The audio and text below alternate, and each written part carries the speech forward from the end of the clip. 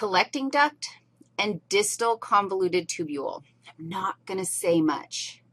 And the reason why I'm not going to say much is because we're actually going to spend another whole lecture talking about the thing that can happen in distal convoluted tubule and collecting duct.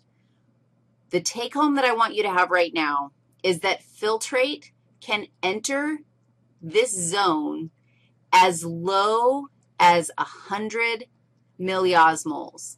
What that means is that that's super dilute. That's actually, like, if you peed that out, you would be like, dude, did I even pee? Because it would look like you peed out pure water. You know how that is. You're all stoked to get all hydrated, and you're like, okay, I'm going to drink water every three minutes. And you start drinking water, and you think, I'm such a rock star, I'm going to be so hydrated, and the next thing you know, you're going pee every five minutes because, and then you're like peeing out the water that you just drank. That kills me. Why bother drinking it if you're just going to pee it out?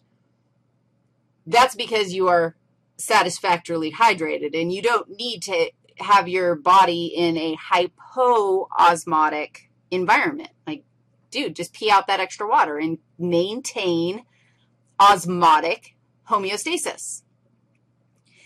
Your body knows, and there are hormones that can be produced, and we're going to talk about them, but they can deal with this super dilute filtrate that exits distal convoluted tubule, that exits ascending loop of Henle.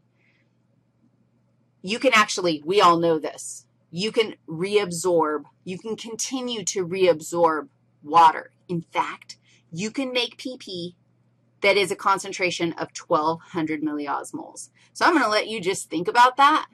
How would that be possible? That's the pee where you go in and you're like, whoa, I just peed out like orange madness because there's like hardly any water in that stuff because your body's like, I cannot afford to put any water in your pee because we are too dehydrated. Did you follow that?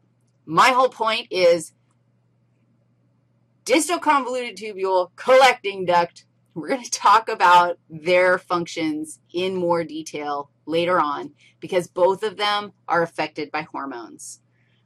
All right, shall we address this incredible medullary concentration gradient and figure out how exactly did we end up with that thing and why don't we just like suck it back out through the blood supply?